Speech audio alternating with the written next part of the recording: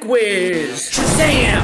And today we are going to be discussing some very important laptop care tips. And joining me is none other than the mythical, the magical, the mystical Mr. Koch. I didn't realize it was Halloween. Scott, listen. Dude, it's like my costume. Can you just go with it for once, please? Oh, I figured that, but you look ridiculous. Well, you know, I spent a lot of money on this, okay? Prime Day. Okay, so. yeah, money well spent. All right, kids. So today, our first tip for your computer is all about the screen. That's right. Right there, that shiny thing that's on the computer, okay? When you hold the laptop, all right, you don't want to hold it by the screen, okay? Because if you hold it by the screen, all right, you're walking it and doing whatever, holding it by this thing, you look like a fool, okay? And the last thing you want to do is look like a fool in front of, you know, your crush in class. Uh, Am I? If I could interrupt for just a second, um, that's not why they shouldn't hold it by the screen.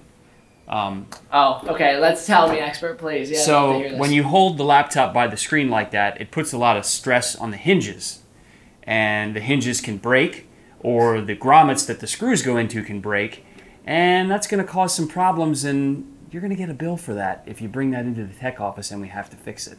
So yeah, you want to hold it like this from the base. You lost me at hinges. It can't break like that.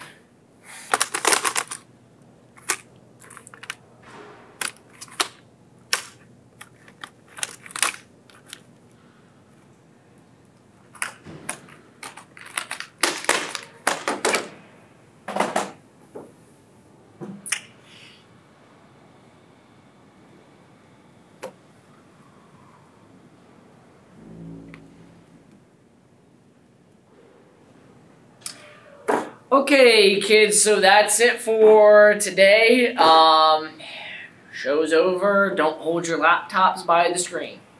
What, what's it? What's this for?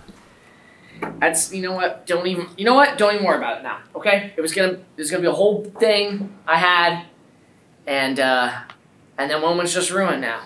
So Well, we we can nope, do it again. We could start. nope. It's too late.